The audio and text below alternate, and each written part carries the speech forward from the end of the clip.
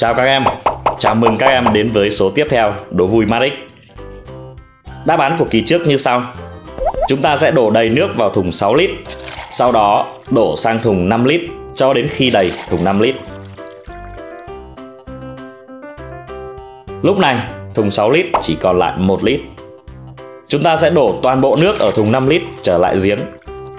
Chúng ta tiếp theo đổ 1 lít nước còn lại ở thùng 6 lít sang thùng 5 lít.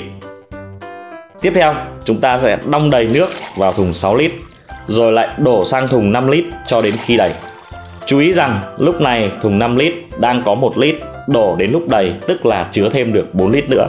Như vậy, thùng 6 lít sau khi đổ 4 lít, chúng ta còn lại 2 lít. Chúc mừng các bạn đã có câu trả lời đúng. Bây giờ, chúng ta tiếp tục với câu đố của kỳ này. Trong một thành phố có 10 cái đồng hồ bị hỏng 10 người liền tới tiệm đồng hồ để sửa. Sau đó thêm 5 chiếc đồng hồ bị hỏng, lại có 5 người nữa tới tiệm đồng hồ để sửa.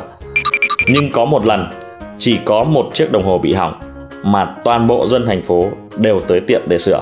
Hỏi tại sao lại như vậy? Các em hãy cùng suy nghĩ.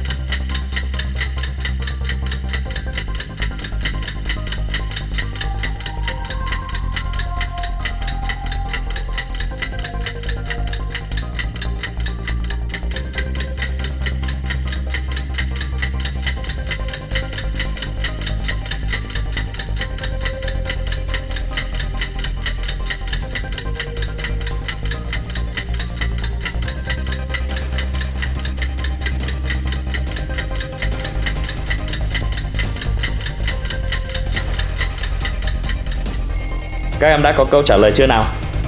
Hẹn gặp lại các em ở kỳ tiếp theo.